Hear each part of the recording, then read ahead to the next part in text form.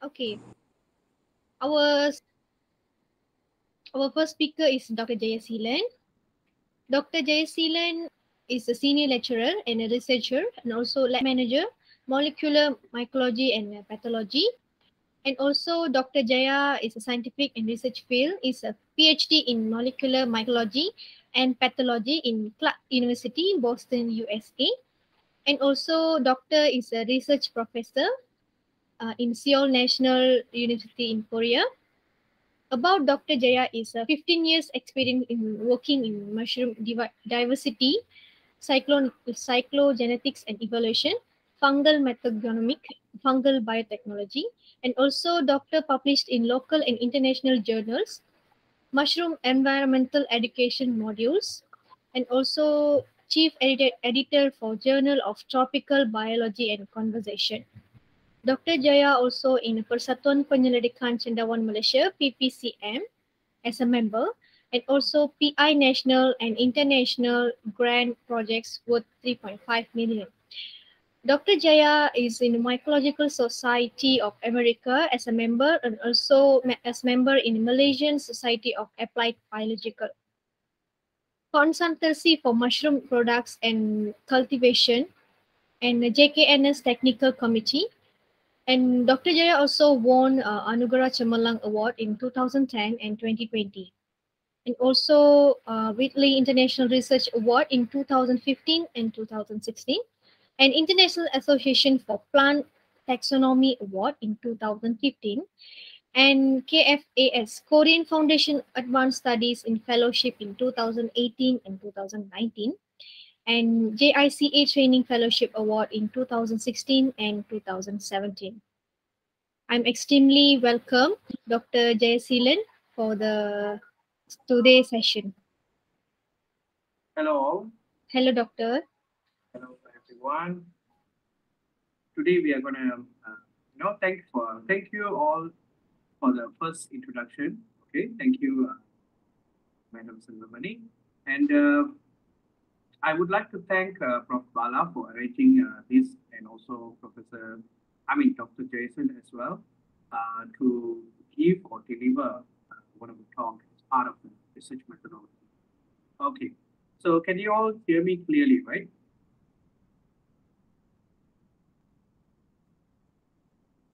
Yes, Doctor. Okay, great. Okay, so if any questions, you can interrupt. Okay, before I further my talk, okay, I would like to, I mean, you can address me as a Jaya of Sealand. Um, so basically today, uh, apart from all the research methodology and research articles that you all are discussing for the past two days, and uh, today, what I'm going to do is uh, actually to bring you all to the mainstream of science, uh, which is uh, the field that I'm involved in, which is uh, mycology, which is the study of mushrooms. So in perspectives of science, when you're talking about science and social science, okay, and even business uh, and also arts, actually, engineering or any kind of field, okay, there will be a lot of fusion here within the talk, okay. So once you have any question, please uh, raise your hands or you can interrupt me while I'm giving the talk, okay. So let's start uh, for now, okay. Let me share the screen.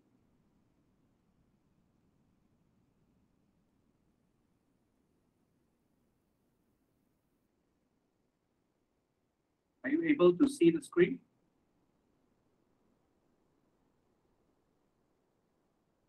Yes, sir, it's visible. Uh, yes, Doctor. Okay, great. Thank you.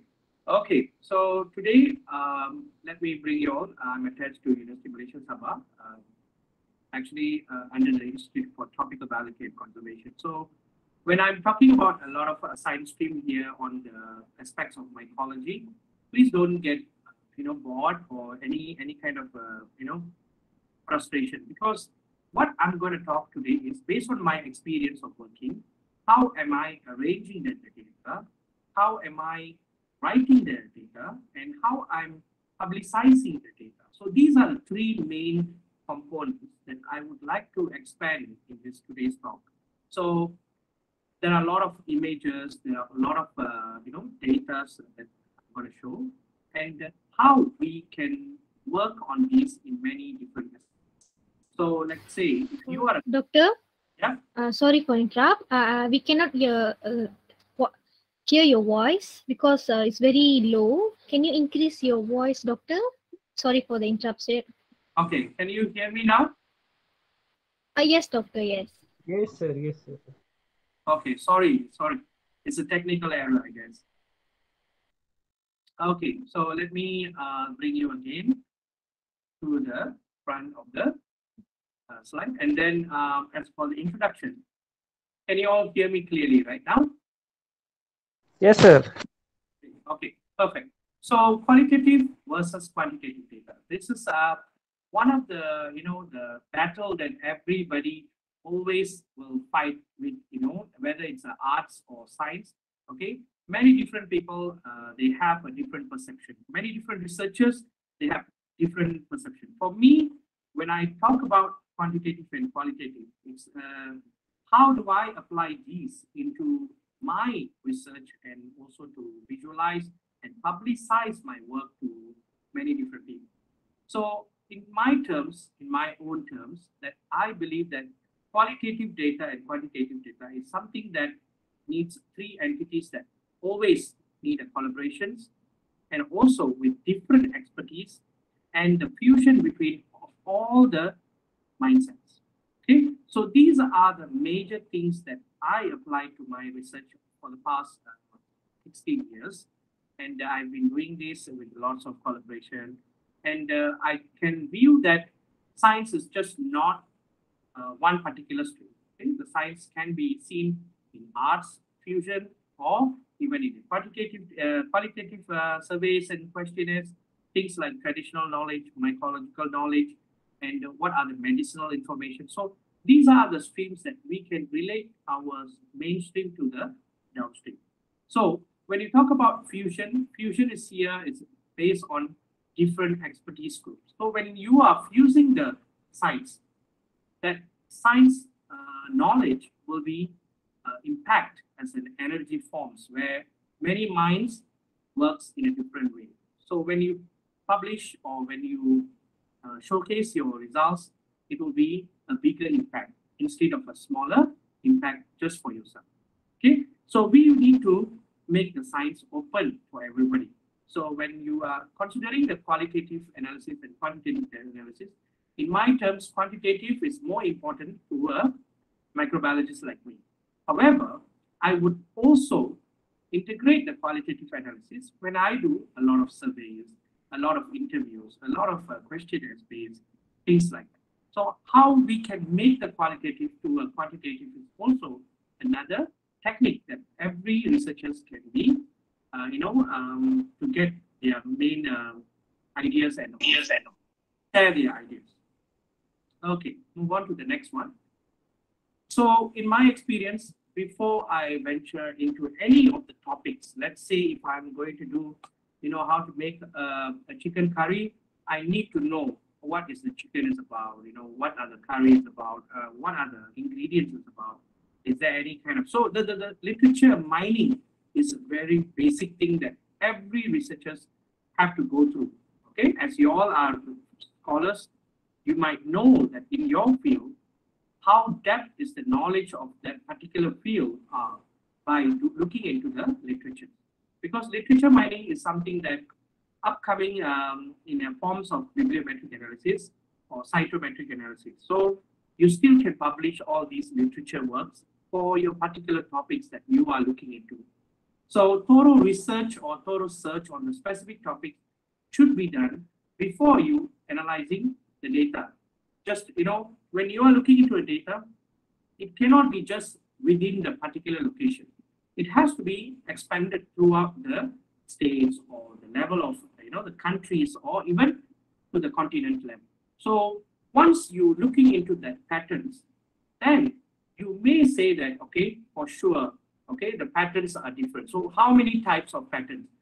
Whether it's a years, based on years, or whether based on type of authors, or whether based on countries, or and etc. Because I'm going to show you here before uh, the writing, what are the things that I have been doing and how do I publish this. Okay.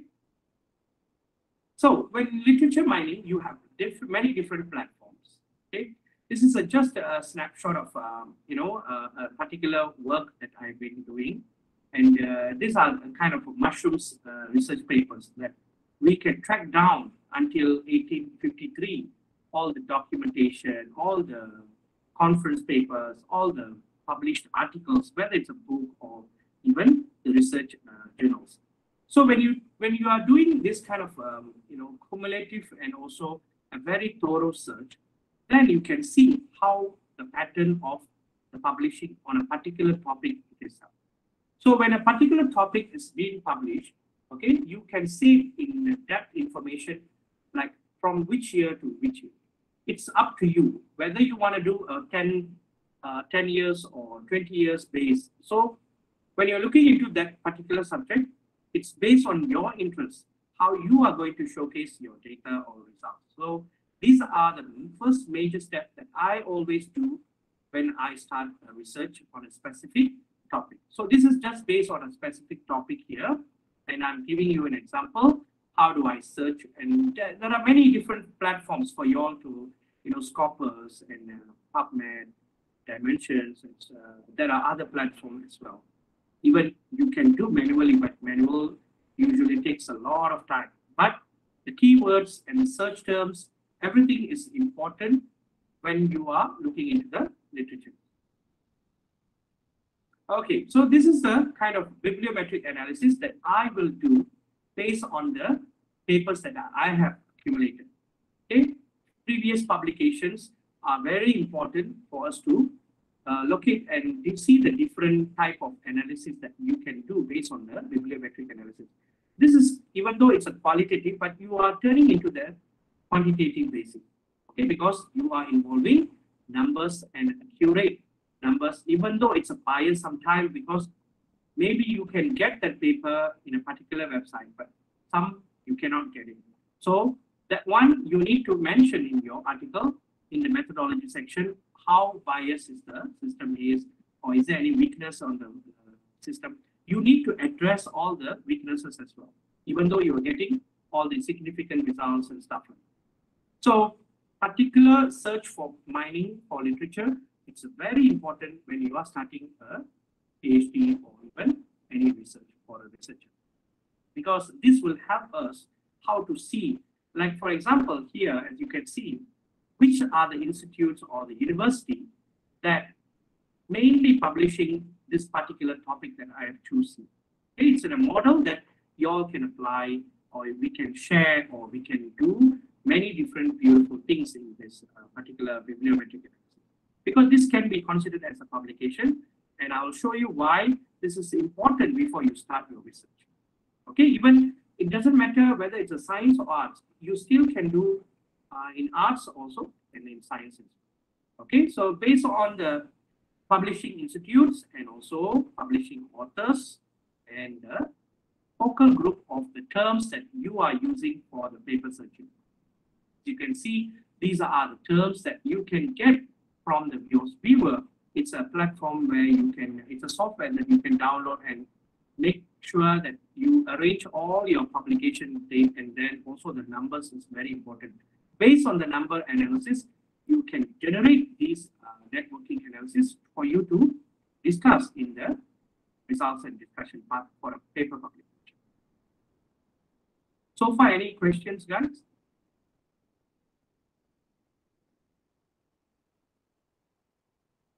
Okay, so Sir, bibliometric analysis is a software. Yeah, it's a software. Yeah. Yes. Is free, freely available?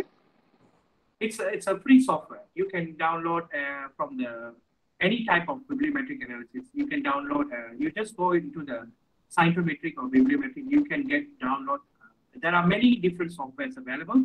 So you may choose uh, what is the best for you and what is the best uh, user friendly. So that's how you can uh, you know download the software from the website. So for uh, taking this publication, only bibliometric analysis is there or any other software is also there? Actually, this bibliometric analysis is your literature publications. That means before you do uh, your literature, uh, you have to collect the papers, right? So based on the collecting papers and everything, you are turning those uh, hard work, the time that you spend into a publication before you publish your inner part of your core research. Understand? Yes. Yes. Okay. So I hope I, I have answered your question, but throughout we can still uh, learn and you guys ask questions based on that in between. Yeah? Okay. So when I apply these uh, tools into my research component before I start my research, usually they take this takes about one to six months. So whenever I work on this, okay, so these are the kind of methodologies, how you are looking into the bibliometric analysis into in, in the terms of methodology, these are the kind of things that preparation for the file before you uh, turning into a qualitative to a quantitative. Because when it's becoming a quantitative, you need to do a lot of statistical methods to estimate what is the number of publication, what is the uh, you know the number of uh, different countries, which are the list of top two journals, I mean 20 journals, things like that. So in our uh, in our objective here, it's pretty simple. We wanted to look into a particular group of fungus that you know uh, relevant to the ants associated.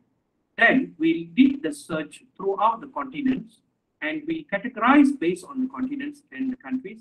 And the continent wise, you can see the you know the lower number to the higher number, and then how much of the portion, and then the published papers in the impact factor on the past 20 years. It can be correlated as as the papers published and the journal impact factor. And also the network analysis you can do very beautifully in those VOSviewer as a software where the research main topics is talking about what. Okay, so let's say here the main topic in the green is basically talking about taxonomy. Okay, but when I want to know what are the papers is about, I'll use all these keywords to generate these networking analysis to find out what are the major terms that they use in that paper. So this is one of the good finding from uh, you know this uh, search and be able to uh, send for publication. Okay, so this is how you may start because maybe this is something uh, very old for you, but this can be new as well. But there is a lot of uh, statistical analysis that you can do in R and you make wonders from the previous published data as part of your publication. So that's why I say don't waste the bibliometric, I mean the search, uh, the literature mining that you are including in your chapters for PhD because that can be publishable if you are doing some analysis and to see how the network of that particular research that you are doing is impacting many different angles, whether it's uh, based on countries or very many based on just a focal group only in medicine, or is it on towards the ecology, something like that. Okay, so as you can see this, this is like fresh from the our. So recently we finished uh, a bibliometric analysis for the mushroom poisoning, where it's basically involving a lot of different types of mushroom in the clinical management. So we pull out all this information, okay, and we did the mining, and then we get to publish in particular in high impact. So these are the, uh, the, the wonders that you can do from a bibliometric analysis. Okay. So apart from what I have been doing before the research, and then now what is my research, and then after that, what is the next step after the research? Okay, so I'm working on uh, different types of research, whether it's ecology, whether it's a taxonomy, whether it's a medicinal application, or whether it's a biotechnological application. So I'm working on many different aspects that involving a group of organisms called fungi or we can say mushrooms.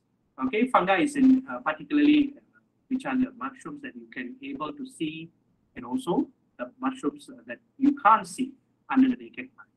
So when I'm talking about the kingdom fungi, okay, how do I see publication is very important. Publication is also considered, you know, when you are establishing photos of your collections. That is very important because you have your copyright because those are considered as your contribution to science as well, because only you know better when you are doing your own topics or in the depth knowledge on the particular area. Okay, So here you can see how beautiful they are and why I'm so obsessed with uh, lots of mushroom research. Huh?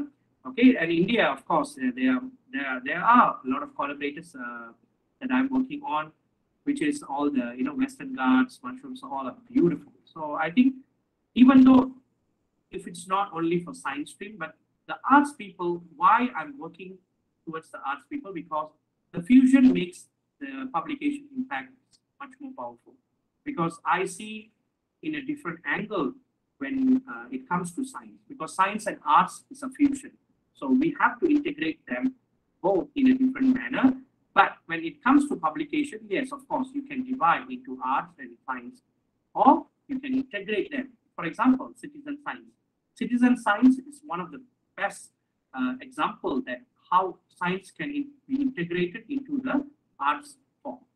Okay, so I will bring you all to another different facts that you all can, uh, you know, get adapted. So you see, when you are looking into uh, the facts about research, okay, when you are looking into a research, definitely as a researcher, you are mainly focusing yourself into a publications and your scholar works. Okay. However, it's your responsibility for you to explain your research to the common people or the layman. Okay. So for the layman understanding, you need to know what are the basic characters, what are the things that you can explain in a simple manner. That is very, very crucial job for a scientist. So here, there are some forms of uh, publications or modules that I'm going to talk about just to, you know, add on to the publication world. Okay, it's not just when it comes to publication, it's considered everything. What you're publishing, it's a publication. Okay, not just the papers and books only. Your modules, your posters, or your, you know, the awareness programs, things like that. So these are all involved in the publication process. So you need to expand from your field to a different angle. Okay, so that's what I'm doing. So as you can see from here, languages are important, you arts are important in a way of what I see from the mushrooms. Okay, what are the shapes, colors, because these are all stimulates from a children level to the adult level.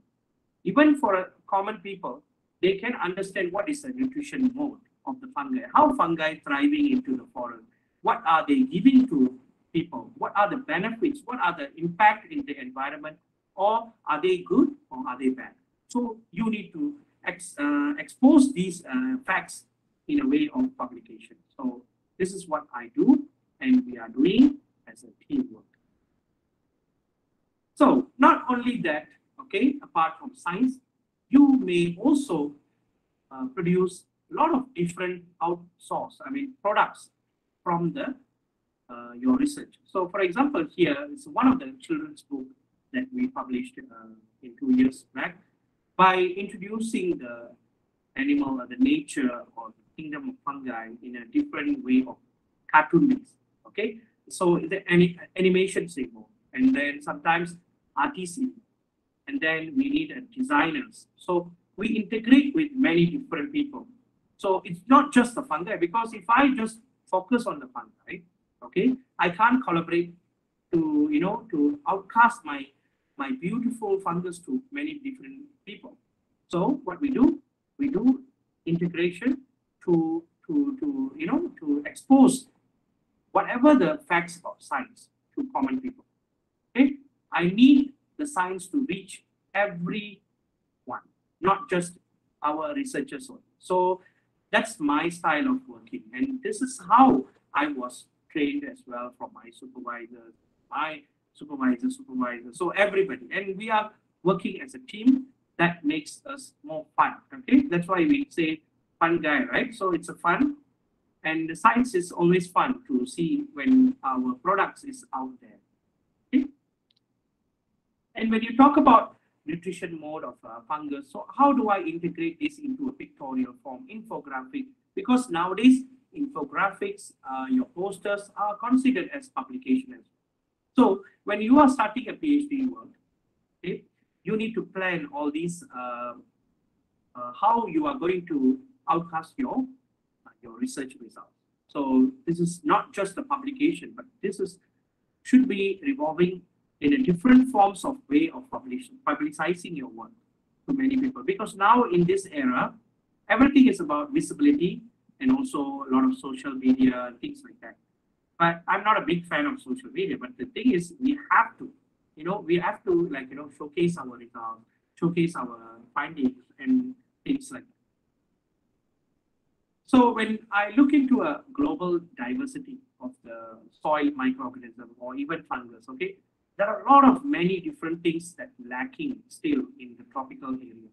So what we can do? Okay, that's that's my job to address at least about 70% of my work until my retirement, I guess. Okay, so that's how I I have thought of it, and that's what I'm working towards. Okay, so the history of uh, you know the history of a publication, okay, on a particular journal or on a particular group, you need to know the history. So what, where does this uh, the law comes from? Where does this uh, fungus comes from? Everything needs a proper way of organizing the history of the particular organism. Like for example, many people know about Darwin, Charles Darwin. Okay, uh, he's the creator of evolution and stuff like that. But the the the evolution story is always uh, fascinating because he has you know found a lot of species that now we know what are the names okay? But how do they evolve? How do they you know surviving in the environment? It's a unique thing that for us to understand it so here i'm not going to talk about all the hardcore on the science subjects but i'm telling you all the you know the search for that information for you to you know publish and for you to you know publish in a good journal you need to understand the history of the organisms or history of the system that first. Okay, for example, like business models, you have so many business models. Psychology, they use a lot of models. So where does the model comes from? Definitely, you will be looking into the history, and then you are comparing between the, you know, how does the whole system till until now that it has been adapted, it has been evolved. So these are the process of getting to know, uh, you know, the history behind it's it's a process for us to publish papers in a very good journal. So what we do here, very systematic way of uh, organization for our lab work, okay, where science works definitely needs a lot of sample collection. We go into the jungle, we go explore, we take photographs. We take uh, we get a lot of photographs. We take a lot of good, good photographs so that the photographs can be published when it's publishing the paper. So GPS location, because all these data is a raw data that need to be applied in terms of, uh, you know, uh, to, to have a good journal publication. That's all. Okay. But where does this publication leads to? So that's the question next after the publication. So as a researcher, are you going to stop there only? So that's a question that you need to ask. So as a researcher, you need to explain this to a common people how to, you know, uh, how to publish this uh, layman way of understanding uh, your research group. So that's how we work. We integrate all the morphological characters, the chemical analysis, and then the DNA analysis. So these are all looks very complicated, right? But some of y'all are science streaming. I think you all understand. But for arts people, this is something new. But how we can work together? That's the question. So where do you come in when I'm going to publish this work? So these are the questions that uh, you need to team up and work together, a team. Because I'm not just working towards society, but I'm working with the arts group, artists, designers, and also web developers. Okay, so these are the things that can integrate and we can produce a lot of good papers. Okay, for example, I'm going to you know, share the story of the, you know, the cup fungi that you can see in a common forest nearby your backyard and stuff like that, because they always appear in a, on a dead branch or dead logs. You have seen these in many, uh, you know, photographs. But when I'm collecting this data, okay, in my way of collecting data is I need to know the whole history about the fungus, okay? How are they characterized? And where do they are distributed? Is it just basically only in Malaysia or outside Malaysia? I need to search thoroughly So what we do, we do continent-wise. So when we do continent-wise, there will be a big impact because we are looking into global thing, not just basically focusing on Malaysia. But I, I am interested in the Malaysian species, even though I'm, you know, Malaysian scientist, but I just need to know how do these species are widespread into worldwide. That is very important to us. So science aspects looking into different way of thinking where the species information needs to be gathered for the whole global, then you have to describe as a new species if it's a new. Okay, that's why it's a very important job for researchers to, uh, you know, before you publish, you need to verify your data. Okay, how good is your data collection? It's very important. So this is how we work in our lab. And uh, the DNA analysis, usually the next step. Okay, the next step is, of course, the DNA analysis, how, how closely they are related, how beautiful, you know, as you can see, this species doesn't exist in Malaysia, but now we do have. Why? Because a data collection is something that will tell you whether we have the species or not. And in terms of the phylogenetic relationship or their evolutionary relationship, we can see now that you know Borneo has quite a number of species within the subfamily. This is how the interpretation. But how are you going to publish this as a layman concept? So what am I going to do? This one we can publish in a scientific journal. But how we are going to publish the science knowledge to a common people? That's the question. I will answer to that question later when you see the last few slides. Okay, so sometimes the ecology, the taxonomy makes us wonder, how do the species surviving in this environment? Why they look so many different colors? Why they look so weird? Why they have hairy? Sometimes they don't have hairy. Why do they only specifically growing in that particular forest? So all these data, very complicated. And when we collect, we have to organize these as part of that. So this is a pretty, uh, you know, three years project. What when you uh, complete it, then you are saying that your publication is, you know, very good impact publication. It's not something that you can just, uh, you know, publish within a one day or two day. No, it's a cumulative thing that you need to collect all the data and then you get to publish a good thing. Okay, so that's a, one of the mushrooms. And then the second one also, it's a pretty different uh, groups of mushroom that medicinal value. And uh, we work on the medicinal group as well, where they analyze for medicinal properties, things like that. So the research arrangement, how do I work is when it involves ecology, then it's a part of ecology work. When it involves, it's a medicinal thing, it's a different scope of work.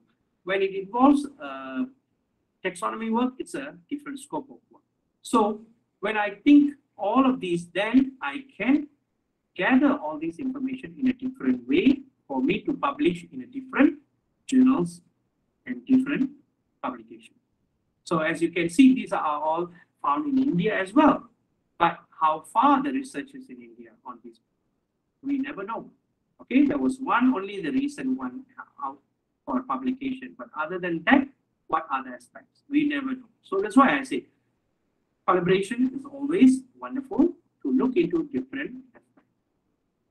So the distribution mainly in the continent one. How do I gather? Of course, when I say GPS, this is what I can do with my GPS data collection. So data collections from GPS involves many different kind of positions based on the global positioning system.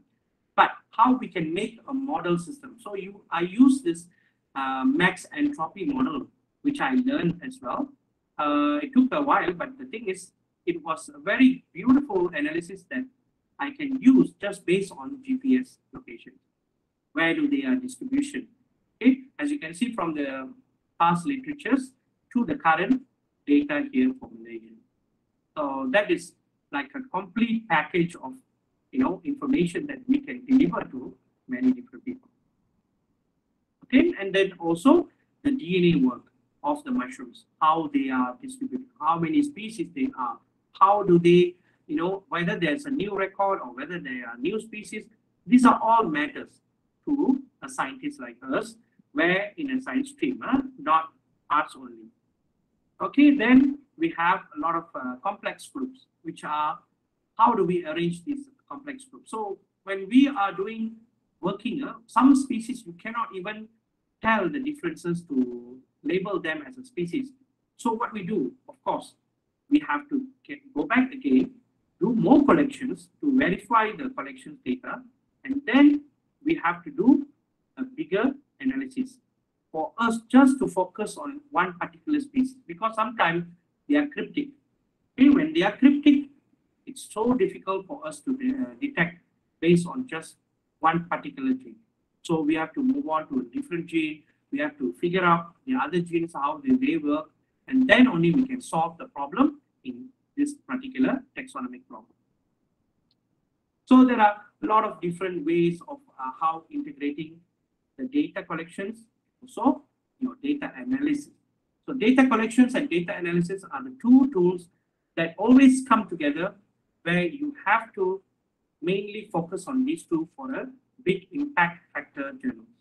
Because when your journal is, when it's a common story, people won't, you know, won't cite that much. But when you have a interesting story on your particular data, people sell your story. They will refer to other paper and then they will cite your paper. So this is how we can increase our paper. But don't worry about citation, things like that, because recently I find people are so obsessed with citation. When you are producing a quality journal, when you are producing a quality data, it takes time. It takes time 10 years, 15 years, 20 years. It's not within one day you get highly cited unless you publish in Science or Nature, of course.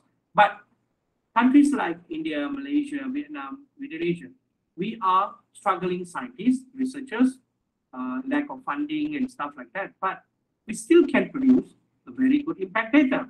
So that's how we have to work in a different aspect and collect all this information for one year or two years. Then you publish, which is good because it has a quality. Okay, I always look based on quantity, I don't care, but based on quality, how quality your paper is very important. Okay, because nowadays a lot of uh, you know the predatory journals and stuff like that that is available. So you need to avoid because you need to have your integrity to publish your own paper in a good journal. That's that's a kind of process that involves in research methodology and also the research ethics as well. Okay. So there's a lot of uh, different types of mushrooms as well. But when it talks about poisonous, why I'm introducing all these uh, groups, I will tell the connectivity later on. Because you need to see all these based on research that we are doing hardcore for the main experiments and you know DNA identification, and everything. Then it goes where? Of course, it goes to publication, but after that, where? So I'm going to connect this as a story for you all to be able to understand even for a layman or common people that not from science. So mushroom poisoning is another issue and the collaboration between uh, chemists and mycologists and medical officers are always we work together. Okay, this is just not one species, but there are many different species poisoning. And uh, this is another aspect that has been published today actually. Okay, so when you're looking into the overall poisonous mushroom, as I say, collection data is important. You need to go track how many collection papers on this particular subject, how many deaths have been occurred in the country, how many, uh, like for example, in India, you have this huge diversity of uh, mushrooms, but how many of them has been locally or traditionally known as uh, traditional knowledge, or even medicinal potentials, or even poisonous uh, to the human being. So these are all the kind of work that we have collected data for the past 10 years, and we are executing now based on a group base, one particular group at each, each time. Okay, because we have a master's and PhD student who their scope of the research is only for two years and four years and five years. So we need to design the experimental design for them, how many species, how many data you need to graduate. So this is a supervisor's job as well for us to, you know, guide them well enough, not just chuck to them, you know, okay, do this literature, that's it. No, you have to be organized with all the experimental design for particular groups of uh, what they are working on. So this is how we can do a better job to address uh, to the academia and also to the outside. So there are many different type, types of template, but what about in topical? So when you talk, uh, showing uh, your literature, you have also another form of literature where it is uh, uh, how do you say this? Uh, actually, it's a compilation in a graph infographic way. So research uh, methodology involves infographic as well. If you can simply understand from an infographic.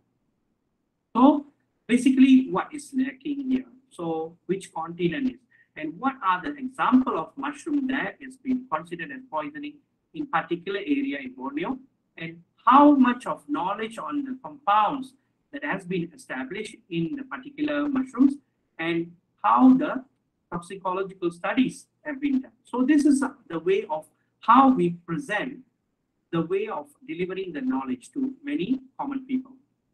Okay? So actually you need you can also use this type of infographic in your research publications. It's much more uh, how to say it's much more nicer and also informative for many different people because you have your text writing in your paragraphs. However, uh, if you give infographic as an overall uh, image as a graphical images, it is considered also a very nice publication. Okay, so this is way the way of how we are doing uh, based on the literature search as well. And then you have a presentation of all the, you know, the DNA studies, stuff like that. So because basically my lab is addressing all the issues between the complex uh, names for the mushrooms and the taxonomy of the mushrooms and the ecology of the mushrooms. And then you have the chemical metabolites that neurotoxic. Because why we need this information? Because this information will go to the medical officers for them to attend what species are they, then they're able to treat the patients according to the groups of mushroom. Because mushrooms have categorized seven seven uh, consequences. There are seven groups actually, as a gastrointestinal mycetism, and also as a neurotoxic, and also there's a lot of different types of uh, causing the toxins to human. So we need to know which species are there and how does this species work towards the toxin to the human. Uh, you need to know all of this process. So we are producing this to the medical doctors as well. And this is a part of our work and publication is also coming out from this work. So as you can see, out of all these years, we found a recent one during the before the COVID year, uh, 2019, we found that one of the species that very closely related to China that happened here in Borneo. So it was a big issue because uh, 19 uh, people were in coma. Uh, sorry, 19 people were admitted in the hospital, two were in coma because it has the mushroom toxin causing a lot of different for the ages group as well. So we get to know that when children, okay, uh, usually can, you know, go to coma, okay, ICU. But the adults, usually they have the immune system and everything, but still they will have a gastrointestinal irritants like diarrhea, vomiting, excessive dehydration. So you are saving people's life as well based on your publications and information providing like this. So this is the way of how we are integrating towards the outside people and the community around you, how the science is benefiting those people.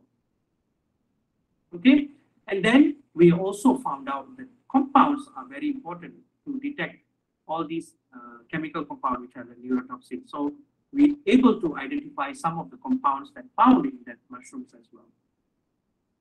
So what we do with the medical groups is uh, very basic things, which are the collaboration work, where they give us the samples whenever there's a cases uh, occur in each area. So here we have identified the hotspot area during the rainy seasons, and also we educate them in terms of, uh, you know, uh, in terms of uh, community contribution And also we come up with the guidelines, as you can see, there's a guideline over here. These are the guidelines that we prepare for the state uh, to address these mushroom poisoning issues. So there are a lot of things that informs of publication here. But when you talk about posters for awareness programs, yes, definitely, we need to showcase all the mushrooms that are being considered as poisonous. So we are saving people as well as part of a science uh, scientist, you know, as you are scientists, you're saving people as well. Okay. So these are the kind of networks that we have to establish when you are looking into the research methodology. Because when you are looking into research methodology, don't just narrow down your ideas just based on the research papers and then your thesis. That's it. No.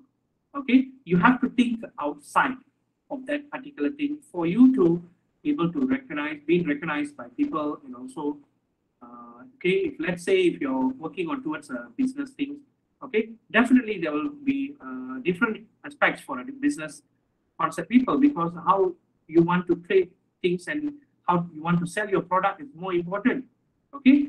How you're going to benefit that particular product, that's a question. So you need to do a lot of survey. Like for example, here, whenever we enter any rural villages, we collect information qualitatively because questionnaires only. Because questionnaires, this will involve also as part of these because these people's answers are sometimes qualitative, but we can produce this based on numbers into quantitative because we get the patterns when we do a lot of different analysis in terms of uh, different software. So educational tools, how we producing educational tools. This is also a research part in publication or writing. Okay, because you take time, you take time to identify, you take time to collect all these, and you take time to showcase all of your important ones, and then you are spending most of the time to educate the community, you are spending times to educate uh, the forest rangers, you are educating the common com children's, all these involves under the research methodologies and publishing your, uh, you know, publishing your work as a modules and also as a newspaper articles and stuff like that. Okay, this is why we need. Okay, this will towards this will uh, lead towards a very comprehensive mushroom identification for for in time uh, coming soon. Okay, so this is how you have to develop your research ideas, then your methodologies. You collect all that and then you execute into publication forms in a different forms of publication.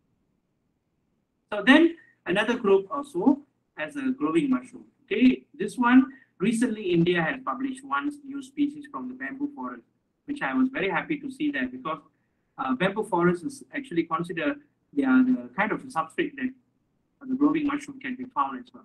So while we are focusing on these groups, okay, uh, we also have so many different types of species. But when you look into this, how are you going to interpret these beauties, okay, the glowing mushrooms. So as a common people, when you look into these uh, glowing mushrooms, you get excited, you get colorful, they are so beautiful, they are glowing, okay? But for me, where do they grow? What do they grow? Why, why is it glowing? But do you have any information on this species? So we need to integrate all these science information to produce common knowledge about glowing mushroom. Why do they glow?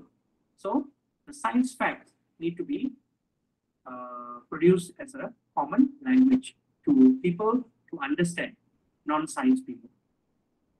So when you look into different forms, okay, uh, in a scientific way, of course, I do a lot of research on their genes, uh, to looking into the to, to looking into their glowing intensity but at the same time, I want to integrate this into a different forms of formulation to increase the growing intensity. So that that is a scientific part. But when it comes to uh, common people, they don't care about how the formulation is uh, made about. But what I care about is how am I going to make it interesting to publicize this into a publication so that people read my book. Then the collections of photos. Definitely, it's one of the way of how you have to arrange, how to attract the audiences, how to give, you know, it's all related.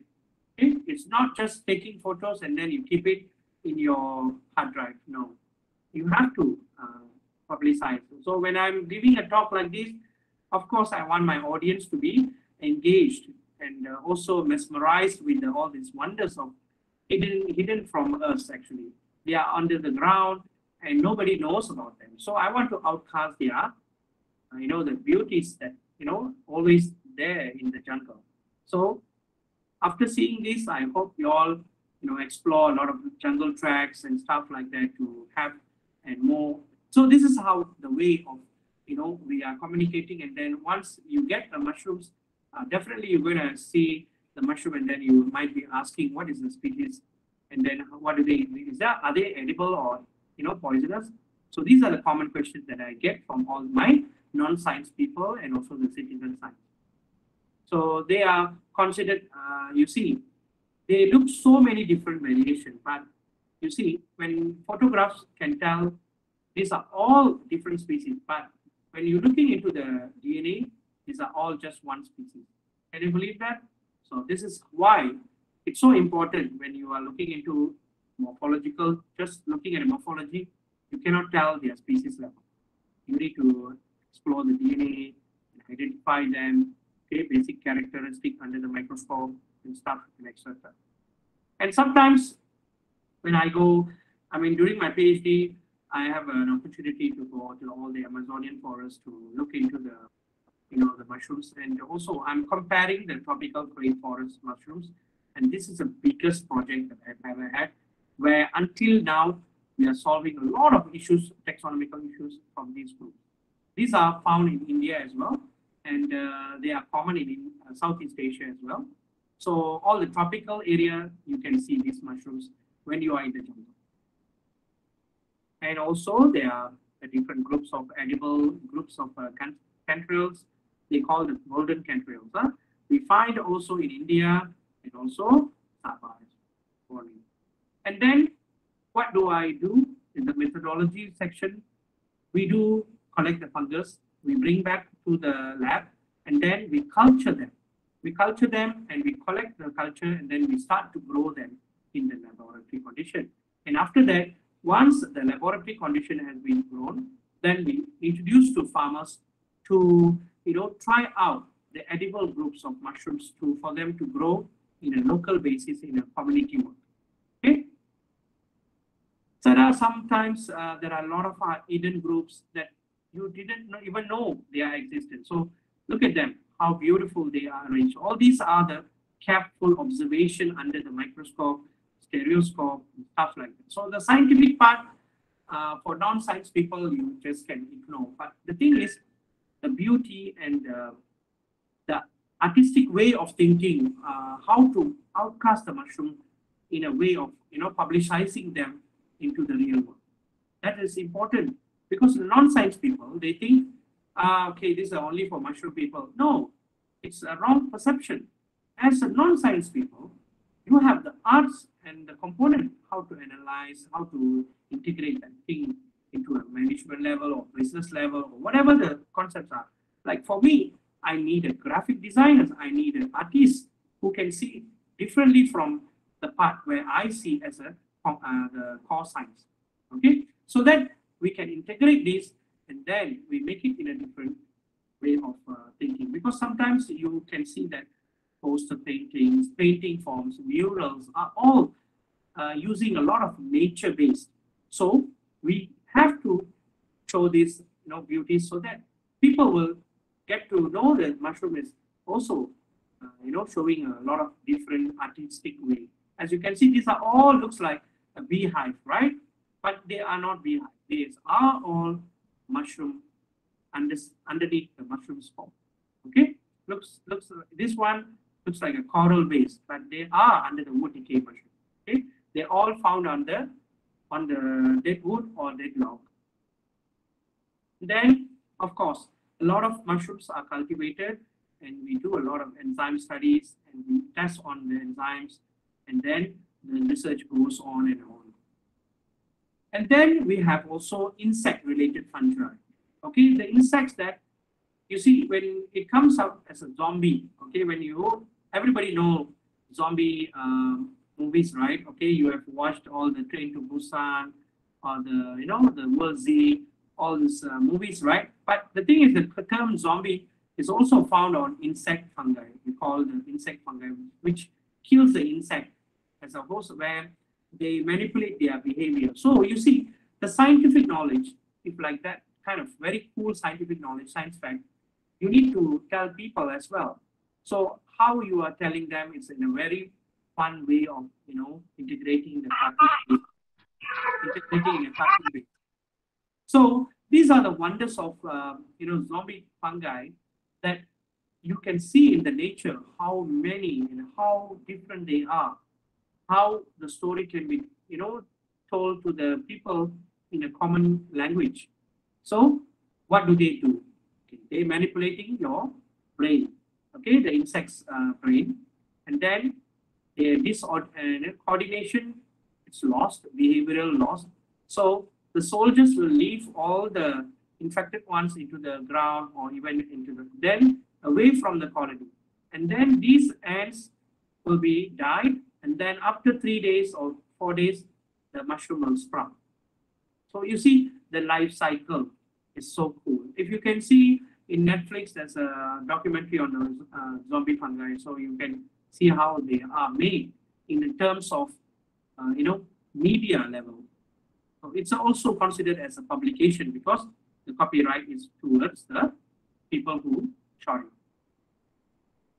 And then for a general purpose, uh, we do also introduce the kind of, uh, you know, common language here in Sabah, I mean, in Malaysia, we use Malay as a medium for us to educate the local people on particular groups of mushrooms over here. So this is one of the poster that we uh, publicize in, you know, in, in any of the forums or any of the campaigns or events. So after all these um, uh, research methodology, public outreach is also considered as a method methodology. So how you qualitatively and quantifying your public outreach programs. Okay, because when I do a public outreach program, I do not want the public outreach just based on you know uh, talks and then done. Okay, bye bye. No, I want the public outreach to be published as a manuscript and also as a modules, academic modules. I would love to introduce all these when we can collaborate in the future. Okay, so this conservation and awareness is one of the part of our hardcore or our you know output from the research grants that we all sign to. So usually when it's a big grants, we need to outcast all our research output. So in a way of communicating towards the public, yes, definitely we choose the teachers, we choose the children from the schools, and then we educate them. And also the science knowledge that we are transferring to them is based on the modules that we prepared for the past, uh, you know, 10 years, actually. So we always update the knowledge and also we update the modules for them to work on it. And then we publish all these output based on their interviews, based on the students' interest.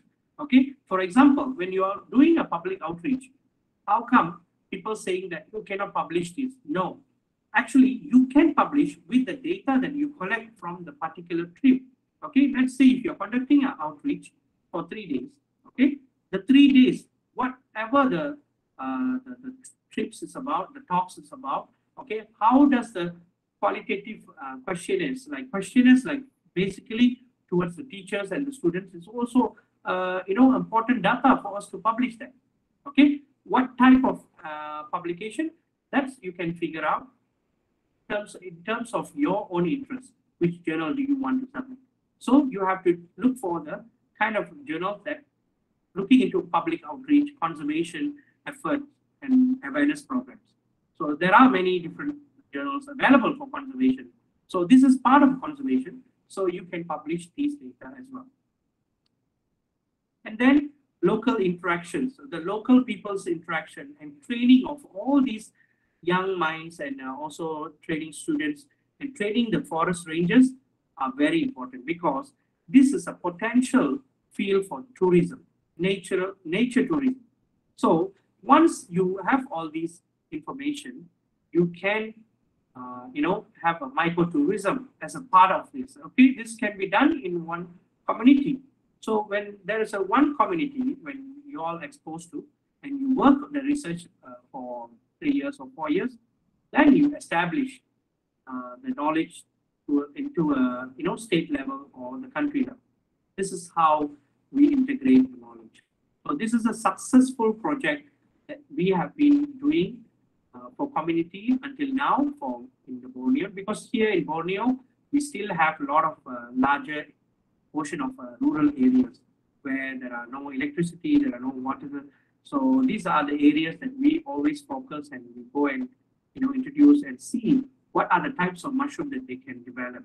So these are all involved under my research methodology as well because this is under the public outreach part.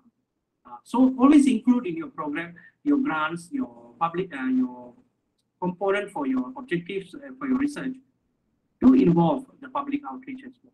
So it's, it's one of the way of how you integrate the science and the non-science aspect. Okay, and then the students' activities that involves uh, a lot of uh, data collections.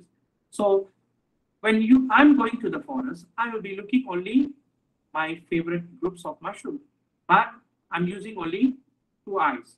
Okay, but when you are gathering many different people, they have a different views in the forest where each eyes differently working towards finding the mushroom. Sometimes some people, the tiniest mushroom as well, they can find. And one of the mushroom that they find, I have published as a new species as well. So you see how these are contributing to a publication as well. So the children's uh, activities that we conducted in 2019, uh, 18, 17, it helped to publish another new species for, for Malaysia or Borneo. Okay, so sometimes this is also, you have to integrate this into a research methodology. How you design, that's your part of your job, where you need to design that in terms of how you are delivering this as an output and it's a measurable objective. So they get also a lot of fun activities. And also I use a lot of different models for my mushroom. And I give them as a modules into the classroom and they come up with a output like you see a simple publication, a recipe book.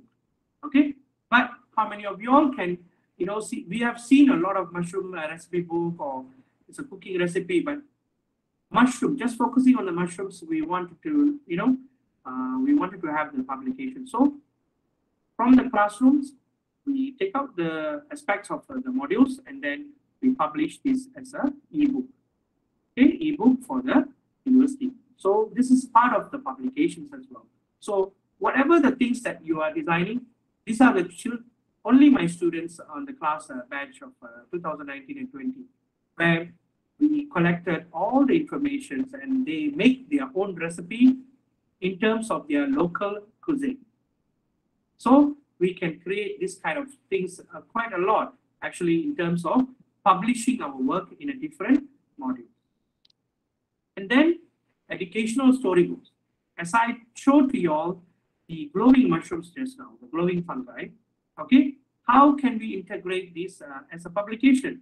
Yes, definitely we need to outreach uh, program uh, when you are talking about non-science people or the common people, uh, non-science people uh, especially, where they want to understand what is a glowing mushroom. So we have to we have to deliver this in terms of um, you know in a storyline or is it a local folks and traditional based kind of uh, information. So what we did, the students of the batch 2020 and 21, we did this a, during the COVID time where we used the folklore of the mushrooms, growing mushrooms, where the Bunians and, and uh, involving how the hero has saved the mom and everything.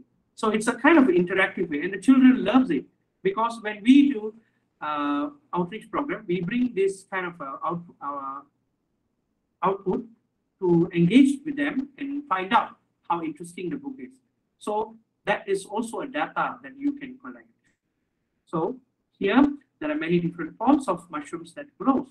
So now you're all able to know there are four types of mushrooms that can grow in a different way. So these are the kind of information from the story that I have told you from the beginning, all the research methods of studying mushrooms until the output of my work in a way of bringing out to the common people. And then these are all my experiences looking for mushrooms for many, many years. Uh. So this is my 16th year and I'm still always looking for mushrooms and we do describe mushrooms. We have so much fun. Of course, I have evolved so much as well and I'm getting old as well. Huh? So these are the kind of fun that we do as a scientist.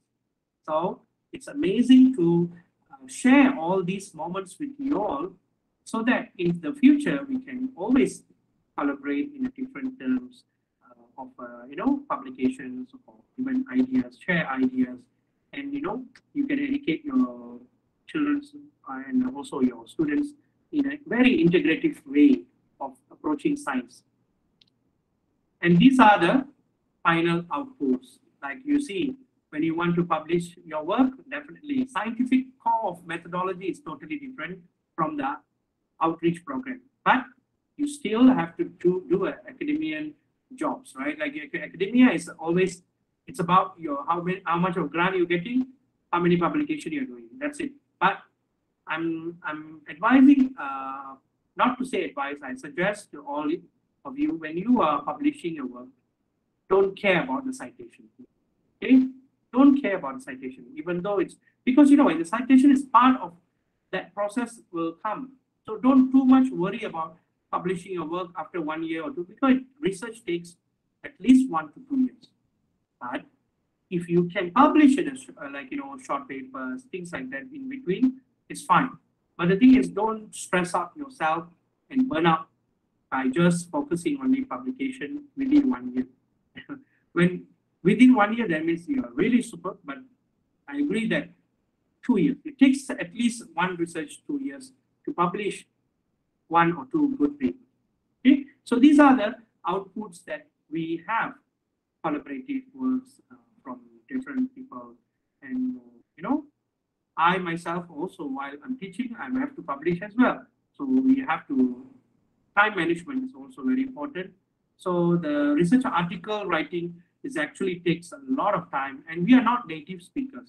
So you discuss with your uh, reviewers or your colleagues to review your paper before you submit to the journal because you need to know that you know you can't be like perfect you know you can't be perfect in terms of writing because everybody has their own uh, you know weakness in writing but the thing is when you are doing the same over and over you get really you know committed and also very familiar with uh, addressing the comments from the reviewers and these are all the mushroom networking and collaborations that I've done so far, you know, for the past years. And uh, it's been amazing experience for me to share with you all so that you all can as well be part of it if you are in the academia or institution.